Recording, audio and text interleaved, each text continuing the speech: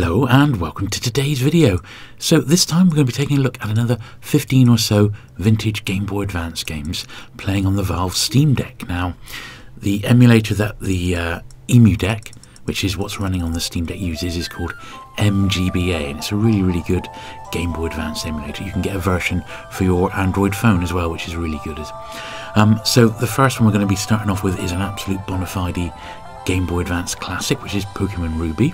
Um, I'm just sort of showing you the opening titles just to see quite how glorious it looks on this big screen.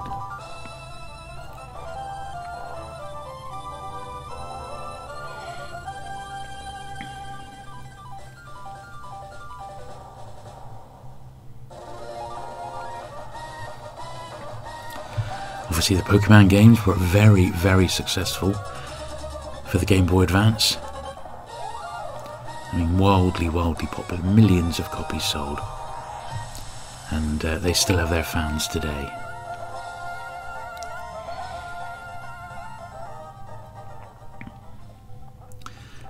This next one uh, translates very well to the GBA. Nice little platformer, Prince of Persia. Sands of Time, I'm sure you've heard of the Prince of Persia games. Like a few of these, it just takes a little bit of time just to get to uh, get to grips with the controls. But once you've got that, you're off to the races.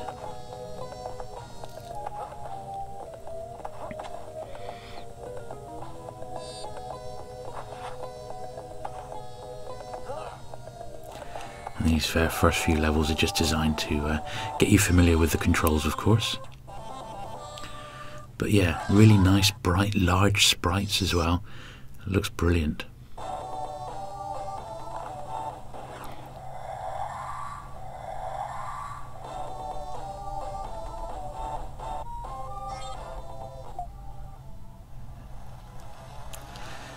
This is one I'd, I'd heard of, but I'd never actually got around to playing it. It's actually quite tricky. Um, quad, quad biking Desert Fury. but it seemed, however bad you did, and if you kept crashing, you would soon catch up with the uh, the other three quad bikes in the race. It wasn't it wasn't bad, and this was only the first of many courses. So, um, but I didn't do.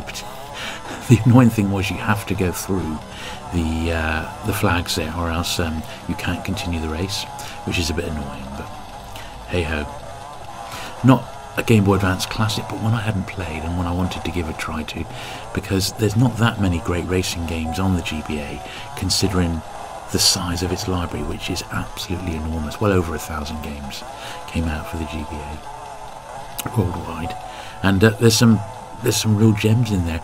I still think there's some undiscovered gems, and uh, I think I've got one of those uh, to show you today. This was fantastic, and the sound of it. Oh just magic. I'm always a big fan of the R-Type games, and uh, this one did not disappoint.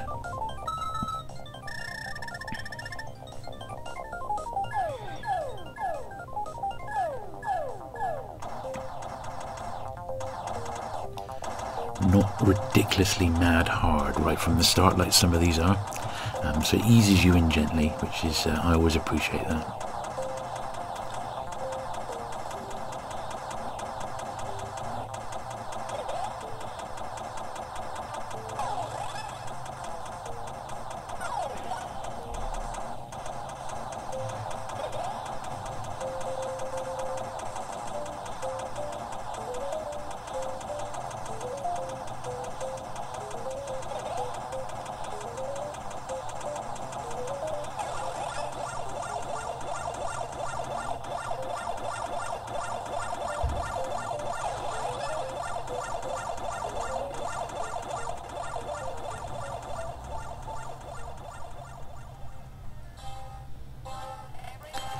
This one wasn't bad. This is called Racing Gears Advance. I noticed that all these uh, games had to put the little Advance moniker on the end, just to show it was for the GBA, not the Game Boy Color. But this one's great fun, and uh, once I got the hang of the controls again, I was loving this one. It's sort of like a bit like Micro Machines. You're um, hurling a car around the corners. It's great. Really, really cool. Now you may have heard the news that uh, EmuDeck is getting a second release, like a second edition, which is going to make it even easier to install some of the higher end systems, which are a little bit problematic. You've got to go through so many hoops. I've not really had a lot of success uh, running them properly. I've had Switch running okay, but Wii U I found to be a little bit harder to run, and original Xbox as well. So I'm pleased to say that the new version um, of EmuDeck, which is on its way, it's in beta form now, it's on its way to be ready for prime time very soon, and uh, we'll be able to cover some of those systems in depth. Um, I have got quite a library of original Xbox games, and uh, I'm looking forward to playing some of those on the deck. Certainly, the first Halo looks incredible. Anyway, this is one that I had at the time. This is Rayman 3. I had this when I had my GBA. It's a great platformer. I don't think I played it even emulated since the days of me having my original GBA. But it does play really, really nicely, as you can see. Nice bright colours. And none of these have got any sort of issues trying to be emulated. They all run perfectly, as you would expect and I think the uh, for most games the Steam Deck's current screen size is absolutely perfect for GBA because most games do um, upscale quite nicely.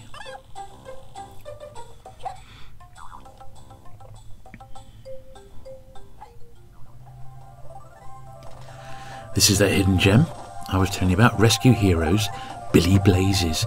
Now, obviously, this one was sort of designed predominantly for, for children, for kids. Um, however, that's not to take away the fantastic gameplay. And it's made by the company WayForward, who did Shantae, which I'm sure um, you've heard of, and Every Witch Way, which is another really great. Uh, that was a Game Boy Color game. So it comes from a good pedigree. And uh, yeah, really, really nice sort of cutie sort of style graphics, good um, good levels design on them and uh, interesting gameplay and it's a variety of gameplay as well. A bit like Every Witch Way where there's lots of different sorts of uh, levels for you to tackle. It's just it doesn't get a bit samey like some of these potentially could. But as you can see you're uh, you're playing that fireman there and uh, you uh, Billy Blazes is his name and you have to put out the fires around the levels but there are other aspects to this as well which we'll see in just a sec but uh, this is a game that's a bit of a hidden gem, and I do recommend you giving it a try. I really do. It's good fun.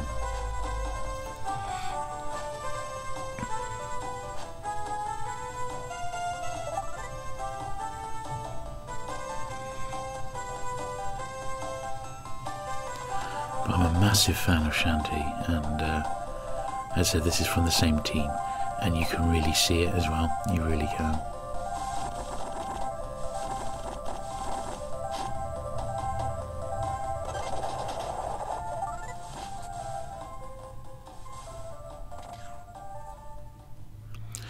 This was a little bit of the, uh, the, the first bonus level where you're putting out a forest fire, so which is pretty cool. And later ones, you know, you go over like skyscrapers and put them out as well. And um, as I said, there's a lot of variety, and uh, I absolutely loved this game. I really, really did. It was brilliant fun.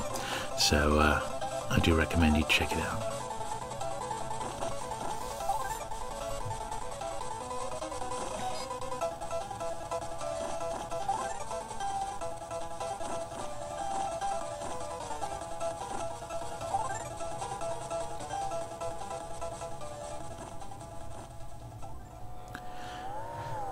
This was a take on a game that I played, I think, on the Mega Drive, uh, Road Rash.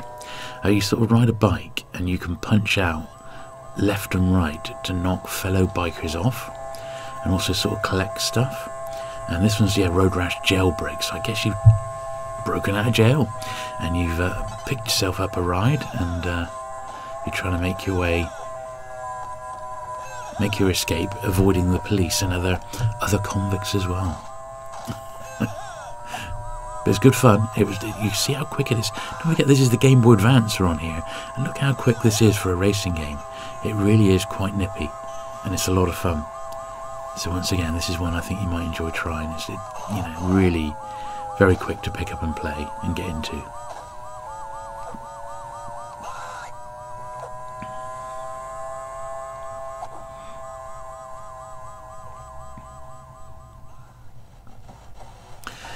Might recognise these, the Rock'em Sock'em robots. Um, these were this was originally like um, these were like figures. It was a game made by Mattel, and it was a boxing game. And the two robots there, the blue and the red, would be inside a, a ring. And this was a, a child's toy. And uh, you would have the two buttons on the front, the left and right, which you can just sort of see going up and down. And that would be how you would control your robot. And you'd sort of push them in like on a gear mechanism brilliant fun. I never had one as a kid, but I had a, a, at least one or two mates who did have them who were a little bit older than me because it came out um, sort of in the uh, 74, 75, I think the actual game came out. It's sort of a, a classic, and um, I was surprised to see that this had been brought back as a as a GBA game, and one I'd never played before, but it was alright. It was, it was fairly good fun, although um, harder than I thought to actually try and win a round. but it was alright. Do you remember the Rock'em and robots?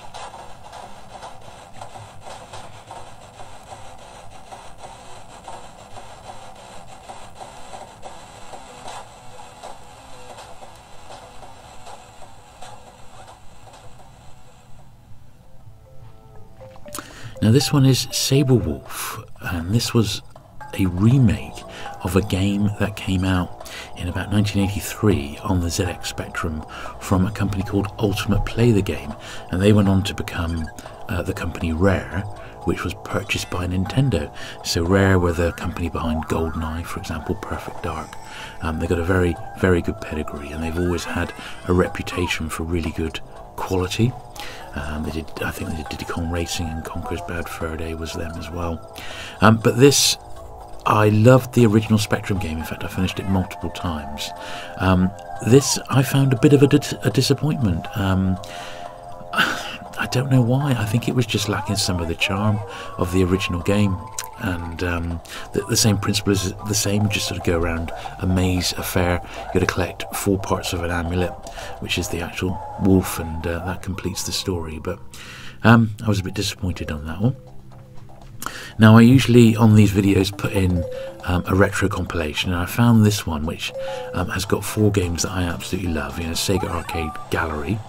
And if you've been watching my videos at all, uh, my game ones, I'm a huge fan of Outrun. And this was purported to be the original arcade version. And the music as you can hear is fantastic. Um, the track is spot on. It is the first ever Outrun the only thing is, there's next to nothing else on the road, so there's no other traffic, and um, because of that, it's sadly missing something. But the fact that they've recreated most of this on the on the GBA is pretty good, in actual fact. So it's not bad, but it uh, it's a shame it's not a little bit harder than what you see here because you know first stab and I was through the first track without even crashing. I think so. You know it could be a little bit better than what it was. This was fantastic. So this is Sonic Advance, Sonic the Hedgehog, and uh, this is really good. I mean, obviously, they're only really it's a variation on the old Mega Drive classic, um, but they did a very, very good job of it. And I am a Sonic fan. Um, I love the first and second games when they came, first came out on the Mega Drive, and I've always picked up various editions since then. Um, including the, the, one which uh, was recently on sale on the Valve Steam store, um, which uh, I've got for the for the Steam Deck as a brand new game. It's like a re like a homage to all the original Sonic games, which is fantastic as well. But this is great, and it's a version I don't think I've really played through properly. But as you can see, it's uh, it's classic Sonic action, and uh, you're going to know exactly what you're going to get.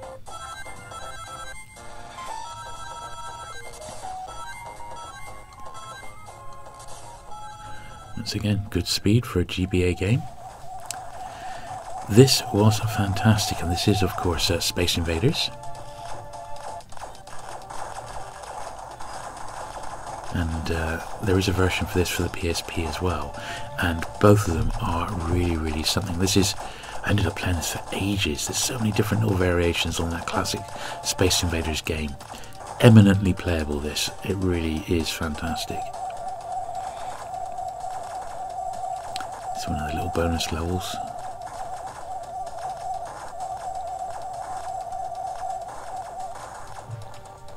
Yeah, great, great version of Space Invaders. This really is.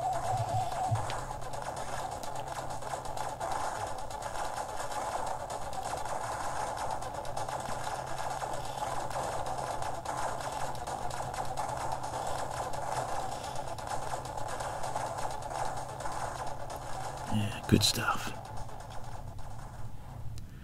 Now this is Street Fighter Alpha 3, another great beat 'em up. And this, I really, I just, I always have loved the sort of cartoony style graphics of these uh, Street Fighter games, and uh, this is no exception. Great level design. It's like you're playing inside a cartoon. I really, really like these.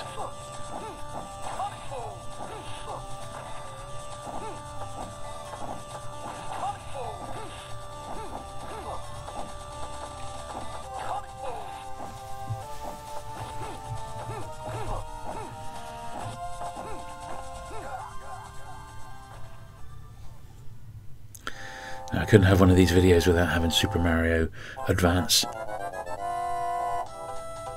And this is Super Mario Advance, Super Mario Brothers 3. So Super Mario Advance 4, Super Mario Brothers 3. Hell of a title, but you know exactly what you're going to get. And these games were sort of iconic with the Game Boys, weren't they? I was never a massive fan of them, but they are what they are. They are fantastic games, and uh, they got great level design. And uh, well, you're not going to go far wrong with uh, with a Mario game such as this.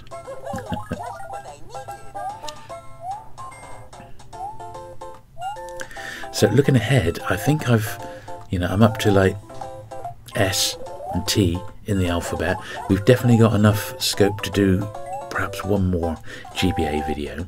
So look out for that one in a in a couple of months' time. I will do one more, and I think three videos covering this system is quite enough on the Steam Deck. But as you can see, if you only had one emulator installed with their game library, you could be playing GBA games for a long, long time because they just are so good.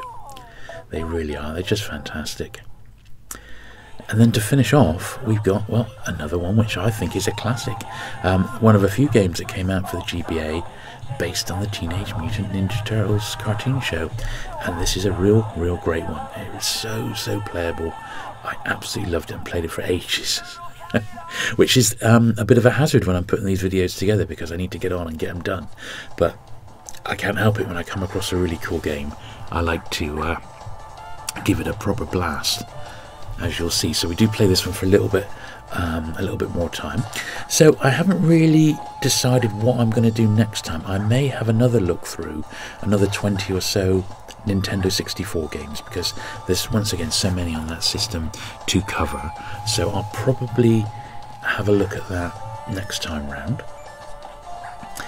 As soon as the new EmuDeck comes out of beta, I will do a video on that one just so we can see how some of the other systems are, are, holding up, just how easy it was to set up something like um, original Xbox games playing on the Steam Deck, because it has always been something that's a little bit tricky to do as it stands right now, but apparently the process is much, much easier, so I, for one, am very much looking forward to that. As we watch a little bit more turtle action. But yeah, thanks very much for watching today. I hope you've enjoyed this little blast through. I think it was 15 or 16 uh, Game Boy Advance games.